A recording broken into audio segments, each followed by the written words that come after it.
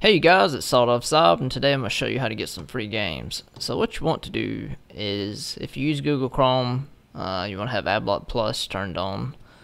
Uh, that way it like protects you from like getting spyware and shit from all the ads and whatnot. Uh, so you go to Google, and then the first website we're going to is itch.io. And this website has all kinds of free games. Uh, if you want, you can donate to the developers. It would help them out. And then that would just encourage them to do newer content or whatever. Uh, and then eventually they'll get put on like Steam if they want their games on Steam or whatever. Uh, but if you go to itch.io, you can search for I don't know like Raft because that's one of the probably one of the best games they have on itch. Uh, and then that's actually how you would get Raft for free. It's this first game here. Uh, my internet's really slow today, so I've been resetting my router like twice. This is a bunch of bullshit.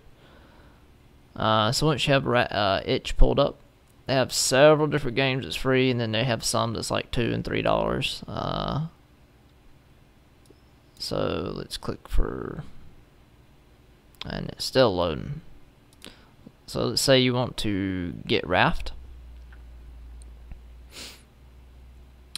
Uh, and this would be pretty much how you would get Raft. So, and then you click download now, and it says name your own price, and that's pretty much like you can put a dollar, you can put 50 cents, uh, you don't even have to pay. So, like, we'll click download, and it says games free by the developer, uh, or but the developer. But anyway, so like he'll take your donations or whatever.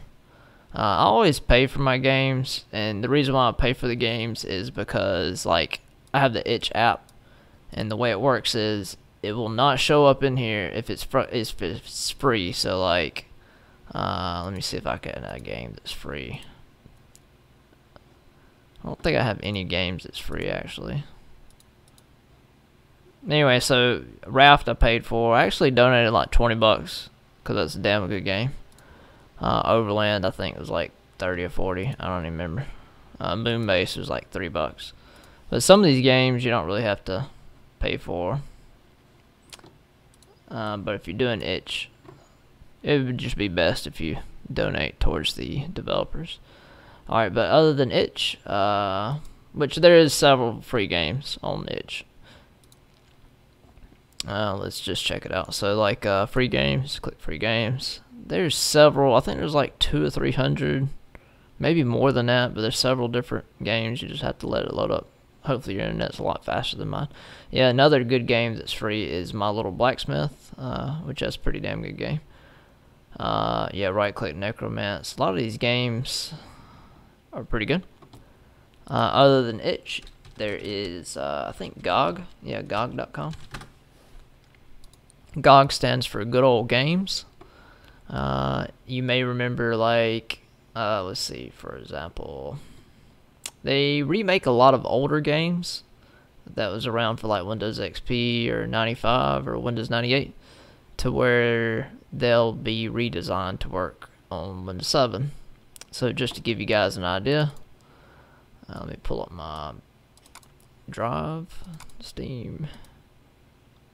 Uh, let's see, Steam apps, common let's say you have, uh, I don't know, like the old Duke Nukem maybe, or Doom. Yeah, Ultimate Doom, here's one.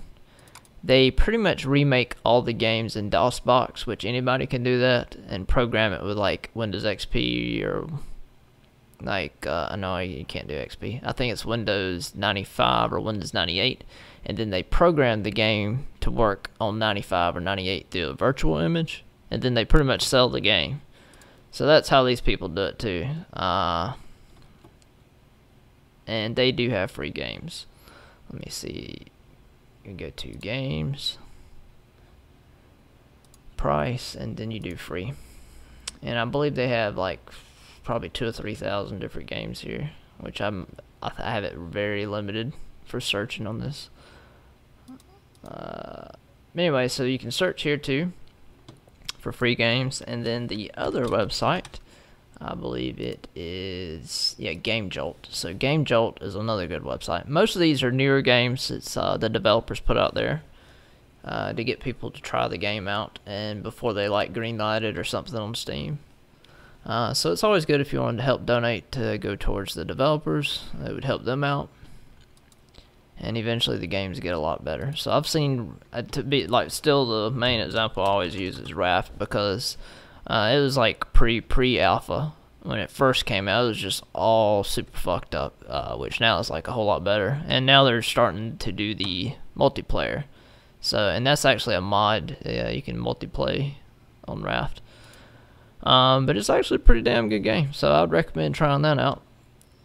Um, and that's it. So pretty much Game Jolt, uh, itch.io, and GOG.com.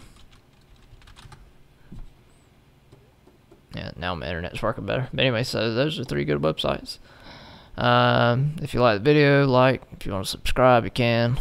Uh, we have several channels going on, several different games that we're playing and testing and trying out. Uh, we always get sent different codes to try, or not codes, but like, uh, uh, yeah, like Steam codes to try different games and different things. But anyway, and I'm really tired, so it's like three, it's like 3 a.m. right now for me, Eastern time. But anyways, thanks again for watching our videos. I uh, hope this helped you find some free games, and I really recommend trying Raft. Damn good game. and no, I'm not sponsored to uh, let people know about Raft. It's just pretty good game. But anyways, thanks again for watching the video. Later.